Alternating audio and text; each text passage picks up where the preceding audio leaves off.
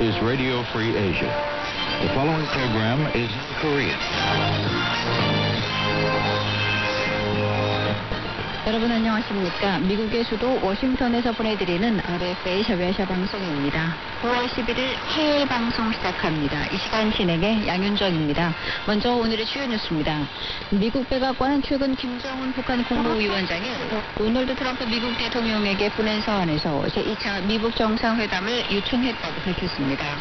미국의 존 볼턴 백악관 국가안보보좌관은 북한 김정은 국무위원장이 비핵화를 약속한 것만으론 불충분하다며 미국은 북한의 비핵화 행동을 기다리고 있다고 강조했습니다.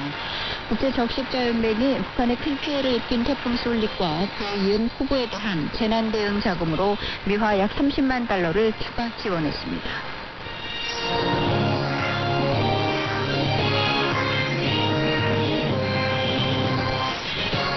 미국 백악관은 최근 김정은 북한 국무위원장이 도널드 트럼프 미국 대통령에게 보낸 서한에서 제2차 미국 정상회담을 요청했다고 밝혔습니다. 김소영 기자가 보도합니다. 세라 터비 샌더스 백악관 대변인은 10일 정례기자 설명회에서 김 위원장이 매우 따뜻하고 긍정적인 편지를 보내왔다며 제2차 미국 정상회담을 거론했습니다.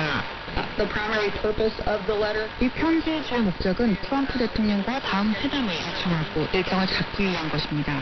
우리는 이에 열려 있으며 이후 회담을 조율하는 과정에 있습니다. 지난 8일 AP통신 등 미국 언론들은 인도와 파키스탄 등의 방문을 마치고 돌아온 마이크 폼페이오 미국 국무장관이 김정은 위원장의 친서를 가지고 있다고 보도한 바 있습니다.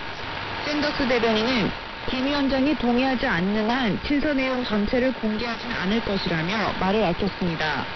그러나 편지에는 김 위원장이 비핵화 이행을 위한 대화를 지속하겠다는 약속과 이에 집중